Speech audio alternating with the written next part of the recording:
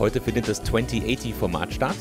Hier kommen Investoren, hier kommen erfolgreiche Gründer, hier kommen Corporate Leaders, hier kommen aber auch Experten zusammen, die sich darüber unterhalten, wie wir und was wir eigentlich tun können in heutigen Zeiten, die so herausfordernd sind, um wirklich in den Jobs, die wir jeden Tag haben, in den Verantwortungen, die wir jeden Tag haben, die richtigen Dinge zu tun.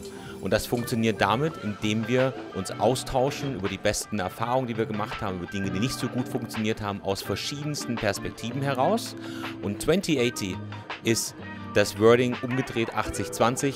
Es geht darum, nicht die Perfektion zu erreichen, sondern es geht darum, dass wir heute Action setzen müssen.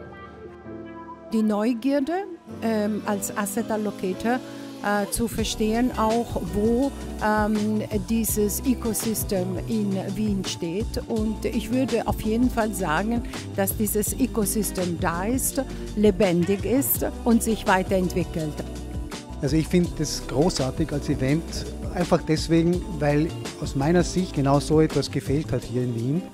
Ein, ein Platz, eine, ein Event, wo sich auf einer relativ zwanglosen Ebene verschiedene äh, Bereiche dieser Welt der Innovation, äh, der Firmengründungen, aber auch der etablierten Corporates treffen können und miteinander ins Gespräch kommen können.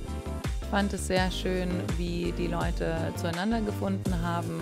Ich habe mich an keinem Moment irgendwie alleine gefühlt, dass ich immer als Teil einer, ähm, einer Gruppe verstanden habe.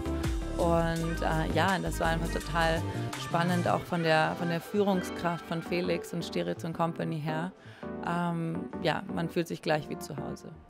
Und ich habe schon daran gemerkt, dass ich vor der Türe einer meiner Mitgründer getroffen habe, mit dem ich den ganzen Tag nicht geredet habe im Büro. Und wir haben uns dann hier am Abend vor der Tür getroffen. Also ich glaube, das Netzwerk ist gut.